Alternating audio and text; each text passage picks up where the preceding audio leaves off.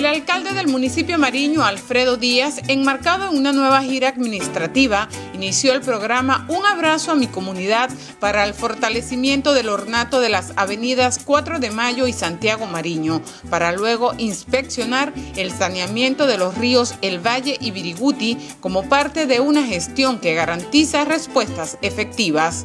Luego, el mandatario de Por la Mar, acompañado de la primera dama del municipio Leinis Malavede Díaz, el tren ejecutivo municipal, concejales, sector turismo y comercial del estado Nueva Esparta, asistió a la presentación del proyecto Paseo del Mar, obra de reacondicionamiento de Playa Bellavista con la cual el balneario se colocará a nivel de los mejores del Caribe.